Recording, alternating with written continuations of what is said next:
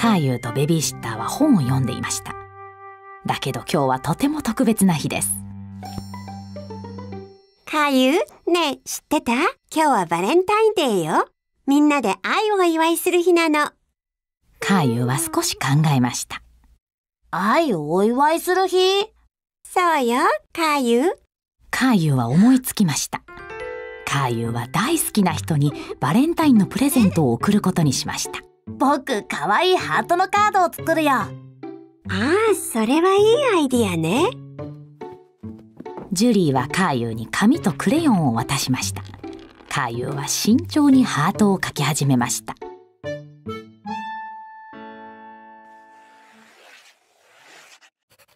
だけどハートを描くのは難しくてカーユーはその出来上がりが少し残念です。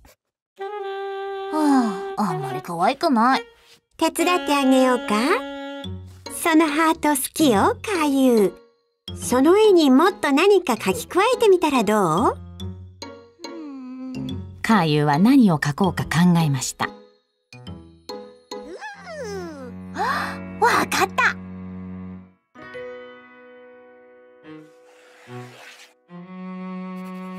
カーユーは大きなお月様とその周りにいろんな色のたくさんのキスマークを描きました。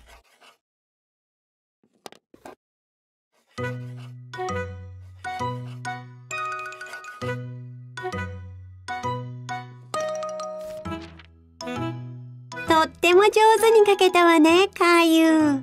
カーユーはとても満足そうでした。カーユーは自分の部屋に行って描いた絵を置きました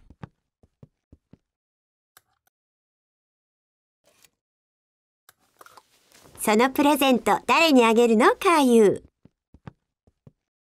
ーそれは内緒。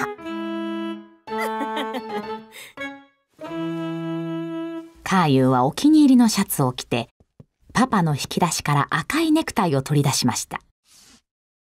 僕ネクタイ似合うかな？何着ても似合うわよカーユー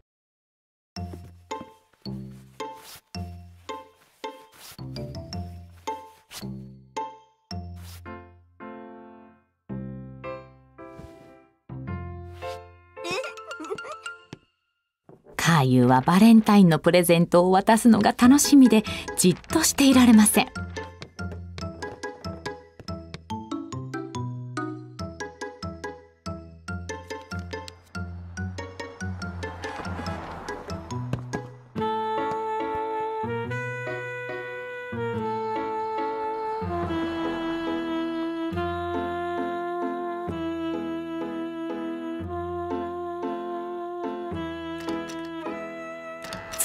ママが帰ってくるとカーユーは一目散に駆け寄りました。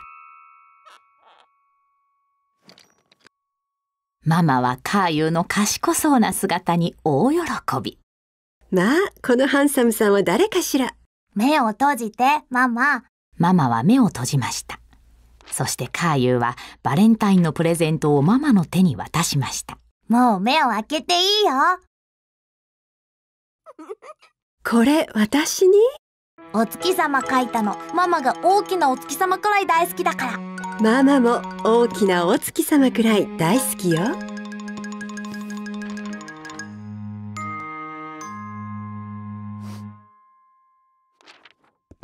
大きなお月様とお空のお星様全部合わせたくらい大好き。カーユーはこれほど誰かのことを大好きな人はいないと思いましたカーユーは急いでよそ行きの服を着ました。今夜はパパとママと一緒に大きな子のようにお出かけします。ロージーはベビーシッターと家でお留守番でした。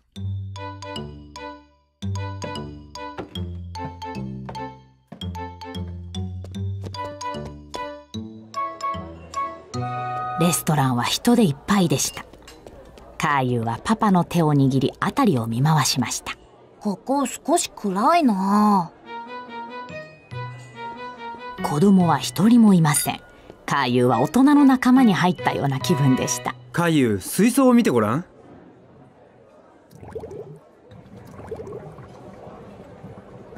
カーユは色とりどりの魚に挨拶しに駆け寄りました。走らないでカーユ。パパとママを待って。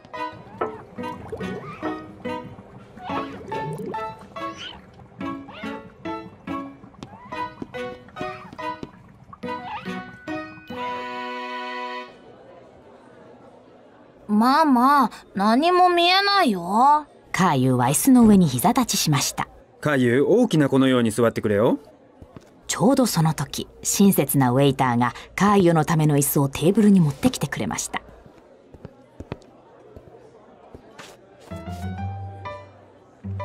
何が食べたい？カーユ。ー見てみる、ママ。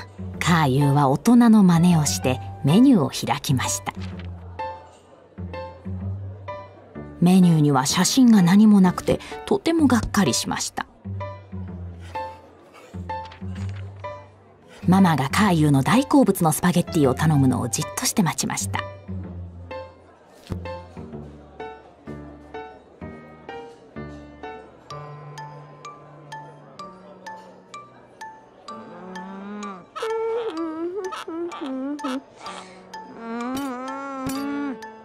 物が来るまでにとても時間がかかりました。カーユーは待つのに飽きてしまい動き回りたくなりました。どこ行くの？カーユーはもう座っていたくありませんでした。トイレに行きたいのかい？行きたい。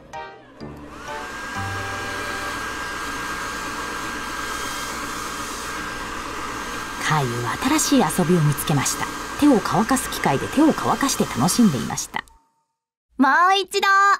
カーユーはもう一度手を洗いに洗面台に戻りました。よーしもうこれが最後だよ。ウェイターが全部のお皿をバランスよく腕に持ってテーブルに来ました。カーユーはとても感動しました。うわあ、パパとママはそんなことしたことない。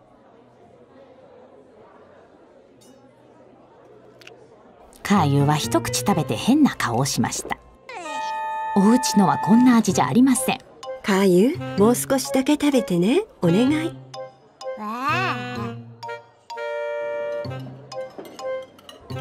カーユーはもうお腹は空いていませんでした。テーブルの下で遊びたかったのです。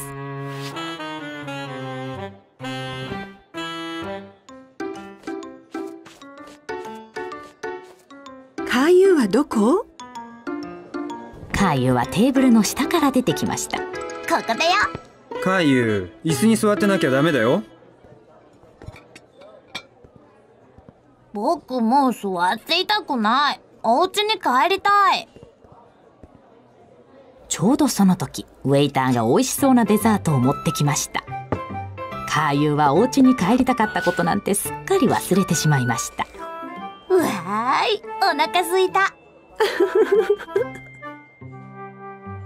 カーユーはパパとママと一緒にレストランで食事をして幸せでした。自分が本当に大きな子のように感じました。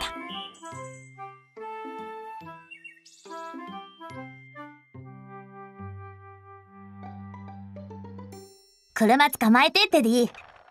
カーユーは新しい遊びを作りました。おもちゃの車を長い坂道に転がして遊んでいました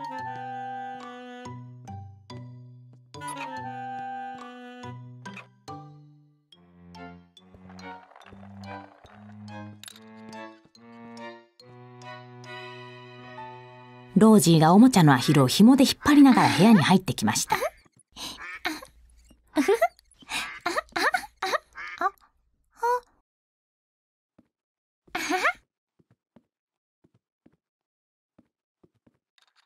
私もやりたい。いいよ。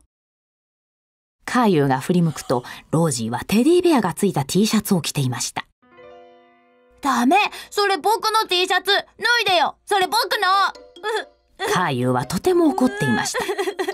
ママが騒ぎ声を聞いてやってきました。ロージーがなぜカーユーのお気に入りの T シャツを着ているのか説明しました。カーユー？あの T シャツは小さくなったからロージーにあげたのよ。カーユーはとても怒っていてママの言葉が聞こえませんでした。それロージーのじゃない僕の。そうねそうね。ロージー違う T シャツを着ましょうね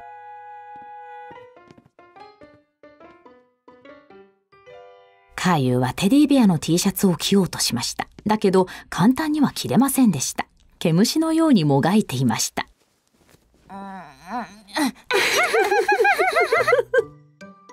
ほら、小さくないでしょ？カーユーはお腹を出しながら部屋の中を歩き回っていました。ロージーはカーユーがおかしく見えて、きっと新しいゲームをしているのだと思いました。カーユーのところに走っていき、お腹をくすぐりました。やめてよ。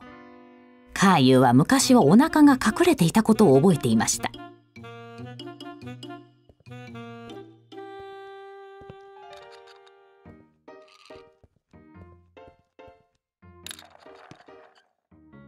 カーユーは車で遊ぼうと体を伸ばしました。だけど背中が寒く、カーペットでチクチクしました。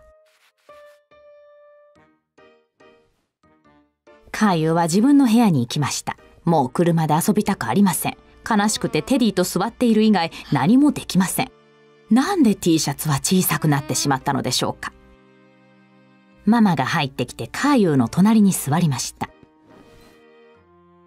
ママは持ってたアルバムを開きました。これあなたの誕生日の写真よ。テディベアの T シャツ着て楽しそうで可愛いわね。カーユーは写真を見てうなずきました。これ僕が小さい時、テディのシャツ着てた。ママはカーユーがなぜ悲しいのかがわかりました。カーユー、T シャツロージーにあげてごめんね。あなたのお気に入りだったのね。でもこれはまたあなたのよ。たとえもう着なくてもずっと持っていていいのよ。カーユーはこの T シャツが大好き。柔らかで着心地がいい。だけどカーユーは自分が大きすぎたのを知っていました。カーユーはテディを見ました。突然、いいことを思いつきました。僕これテディであげるよ。それはいいわ、カーユカーユーとママは笑顔で、カーユーはお気に入りの T シャツを脱いでテディベアに着せました。ロージーがカーユーの部屋にママを探しに行きました。誰かがあの T シャツを着ていました。テディ幸せ。僕も。カーユーはテディベアの T シャツを着たテディベアを抱きしめました。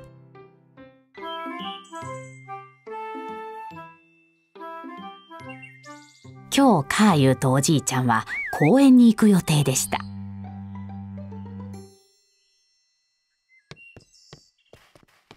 おじいちゃんは箱を持ってカーユーの家に来ました。箱に何が入ってるのおじいちゃん。公園に着いたらわかるよ。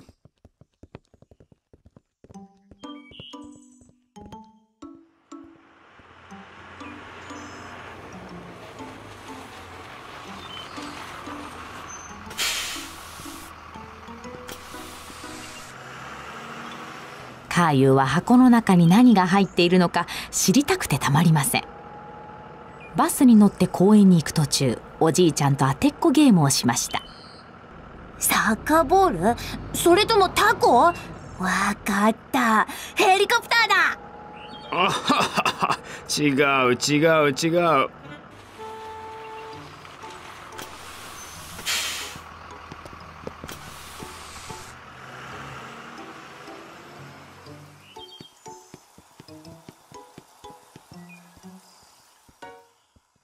おじいちゃん、あのボート見てカーユーは池のボートを見るのが大好きでした。みんなレースをしてるよ。僕も持ってたら。あ、すごいヨットだおじいちゃんが作ったんだよ。気に入った？うん、好き。それ、本当に動くの？二人はすぐにボートを水に浮かべました。おじいちゃんがカーユーに操縦させると、カーユーはとても興奮しました。僕が操縦してるそうだよ、キャプテン海遊。でも気をつけて、早くしすぎるとひっくり返るからね。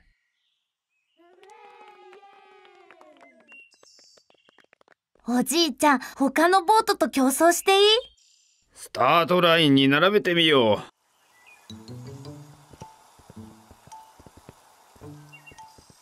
やあ、カーユー。エマはカーユーの学校のお友達でした。こんにちはエマエマもレースをするの？うん。私のボートは赤いのよ。そしてあの男の子のは青いの。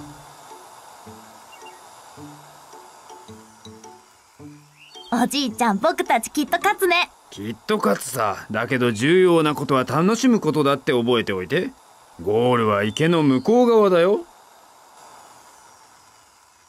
行くよ。よーい。トーン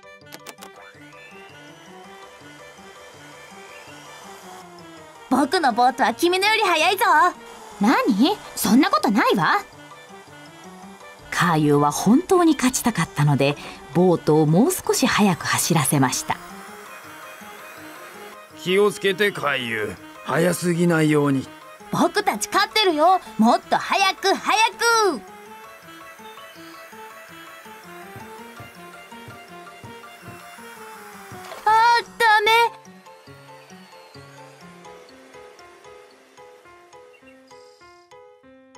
カーユーのボートがエマのボートにぶつかり両方ともひっくり返ってしまいました。ああ残念だったね海遊。次はもっとうまくいくよ。カーユーは負けエマも負けさせてしまったので良くない気分になりました。ごめんねエマ。ううん。いいよ。私毎週パパと一緒にここに来てるの。それで私のボートはいつもひっくり返るの。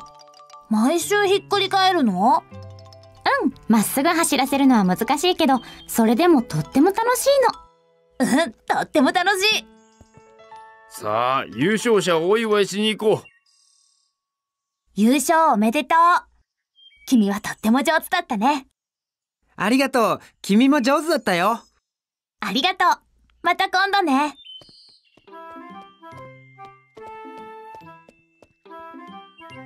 レースに勝てなくて残念だったかい？